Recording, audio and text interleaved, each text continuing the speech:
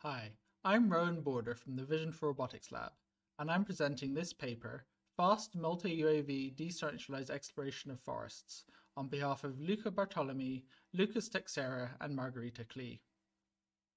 Unmanned aerial vehicles can be extremely useful for surveying areas that are unsafe or unreachable for humans and ground robots.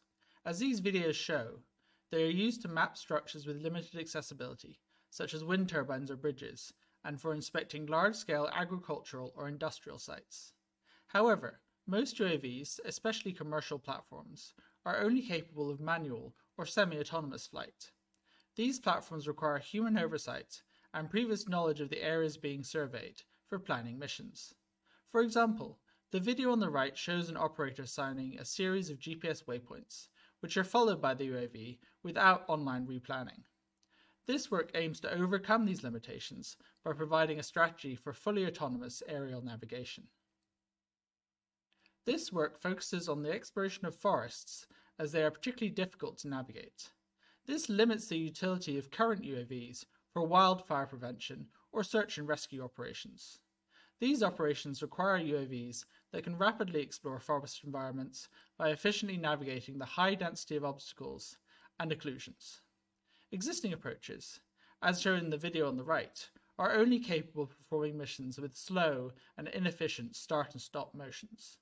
In contrast, the approach presented in this paper enables fast and safe exploration of forests with a team of UAVs. Using multiple UAVs has several benefits, including faster mission accomplishment and redundancy, which means that a mission can still be accomplished even if an individual platform fails. This work proposes a decentralized coordination strategy for a team of UAVs, where coordination and map assignment is achieved by pairwise wireless communication. This animation illustrates how the presented approach tackles the exploration challenge, in contrast to existing traditional approaches. The blue line shows the path followed by the drone, the black dots denote trees, unknown space is grey, and explored space is white. The field of view of the sensor is shown in light grey. Existing approaches typically prioritize the exploration of large unexplored areas, which in a forest environment often leaves smaller portions of unknown space unexplored. This is problematic because if many of these small regions are left unexplored, then the UAV has to return to them later. This can result in the whole environment being traversed multiple times. The presented approach tackles this problem by using two different exploration modes. It works as follows. Firstly, the UAV incrementally creates an occupancy map of the environment from depth and odometry information. Frontiers, shown in pink, are extracted from the occupancy map along the boundary between explored and unknown space. These frontiers are classified as either large frontiers, shown in green, which are close to large volumes of unexplored space, or trails, shown in red, which include all of the smaller unexplored volumes. These classified frontiers are used by the mode selector to choose the behavior of the drone. The Explorer mode targets the large frontiers and flies more cautiously through unknown space. The Collector mode aggressively clears nearby trails at a higher speed as it can primarily fly through explored regions, as shown. Once a target frontier and navigation mode are chosen, the path planner generates a smooth trajectory that is communicated to the low-level controller. This exploration process continues until there are no more frontiers remaining.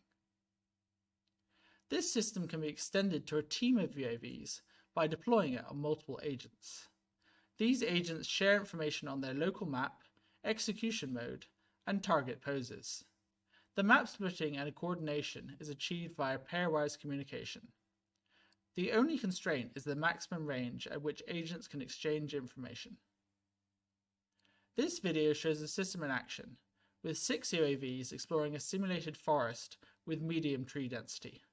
The light grey boxes, which turn pink when explored, represent trees, while the dark grey areas, which turn white when explored, represent free space.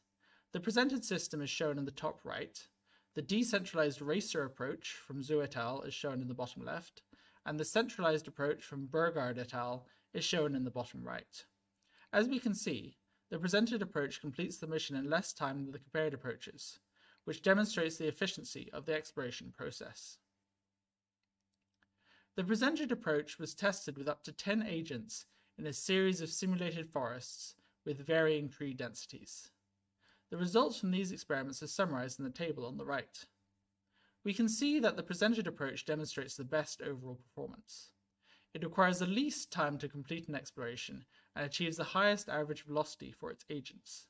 This demonstrates the value of the hybrid explorer and collector exploration strategy, which keeps the agents moving and avoids slow and inefficient start and stop motions.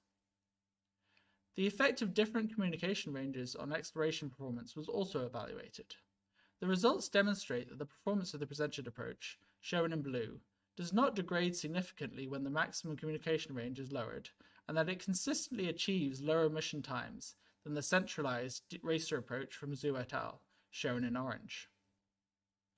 In conclusion, this paper presents a novel approach for high-speed exploration of cluttered environments, such as forest, with a decentralized team of UAVs.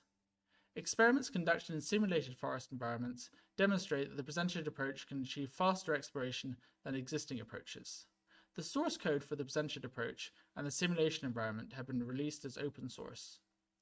Future work will focus on deploying the approach in the real world and developing methods for scaling it to larger UAV teams.